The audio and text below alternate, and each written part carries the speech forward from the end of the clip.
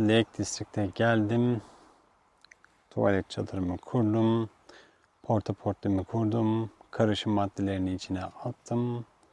Çadırımı da buraya koydum. Arabayı buraya park ettim. Masamı falan oraya koydum. Etrafta bir gösteririm yine. Aslında biraz yanlış bir yer tercih ettim. Çünkü şu arkadaki abi var ya onun yeri daha güzel, daha kuytuydu. Ama ben orayı karavanların yeri sandım. Ama olsun yine iyi. Birkaç çadır vardı geldiğimde onlar gittiler. Şu yanındaki çadırda kalanlar da yok. Ee, dolayısıyla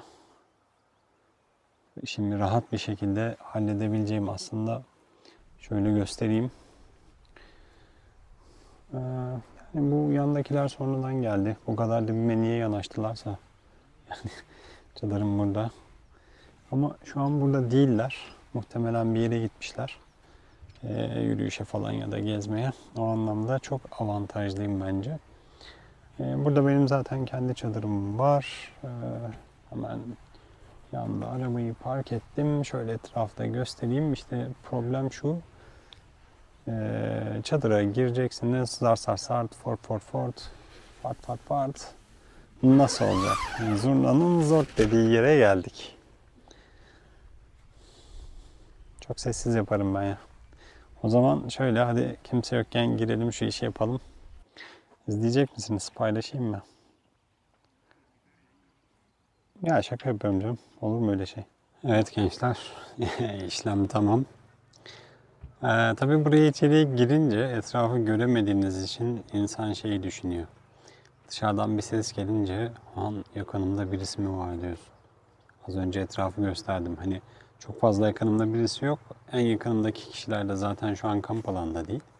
Ama sesler yakın geliyormuş gibi oluyor. Dolayısıyla en ufak bir sesin bile sanki tüm kamp alanında herkes tarafından duyulacakmış gibi hissediyorsun. Hani şeyi düşündüm bir an. Ya bir 5 dakika ya. Bir 5 dakika verseniz tüm olay çözülecek yani. Hani bir 5 dakika kimse duymasa beni bitecek ya falan diye ama ee, öyle olmadı. Tabii herkes duymadı beni.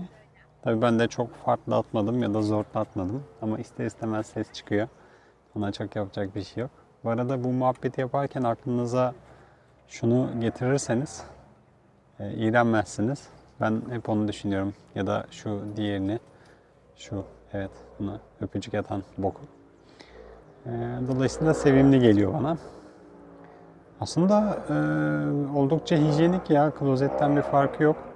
O pompasıyla bastığım zaman da su gelip etrafından dönerek iniyor. Alttaki kolu çekince de fuf diye ne varsa her şey gidiyor. Ama e, bir sıkıntı şu olabilir.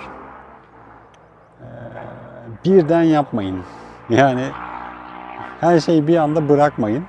Yavaş yavaş yapın kolu çekin. Yavaş yavaş yapın kolu çekin. Ara ara pompayla su basın. Klozet kadar haznesi büyük olmadığı için birden yığılırsa biraz problem olabilir.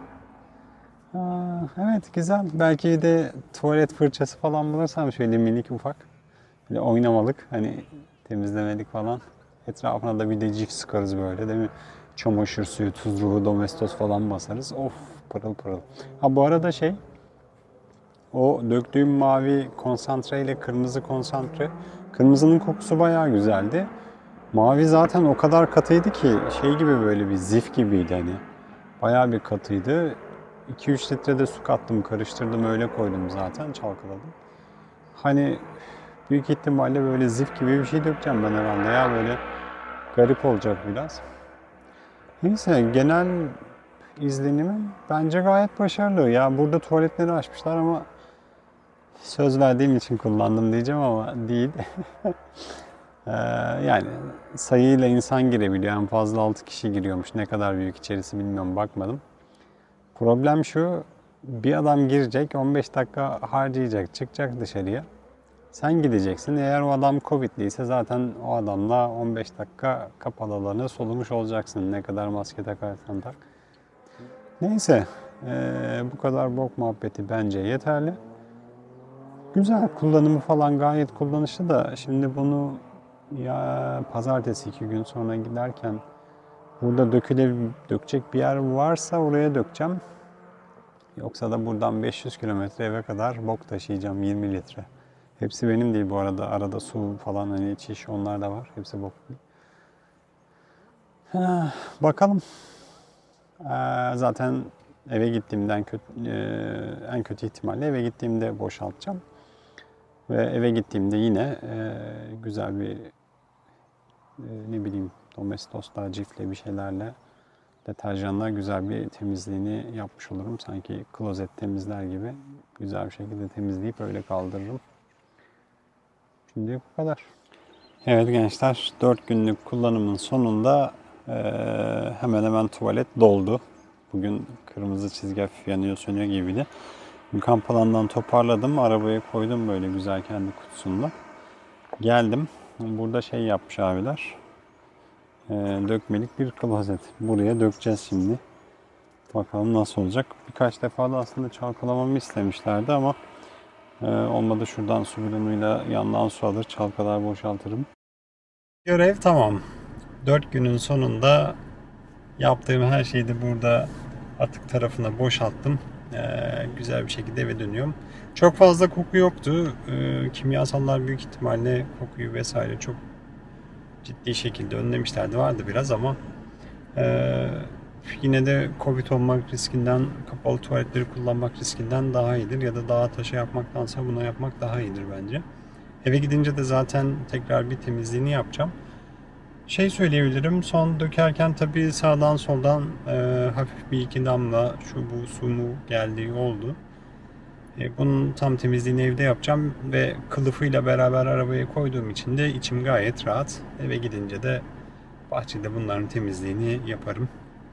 E, zaten abiler şey demişlerdi hani dökün döktükten sonra 2-3 defa su doldurun tekrar çalkalayın. Üstünde fazla kalan suyu ben dökerek zaten bunu yaptım. Güzel oldu, temiz iş oldu ama 4 günde ben bunu fullledim. Eğer iki kişi olsaydık herhalde 2 günde dolacaktı ve gel e, bu, bu, bu seansı iki tur yapmış olacaktım. Yani çok önemli değil bence yani 10 dakikamı almadı ve çok da pis bir iş değil yani daha pis işler yaptığım oldu o yüzden bence fazlasıyla başarılı, güzel bir ürün. Tavsiye ederim.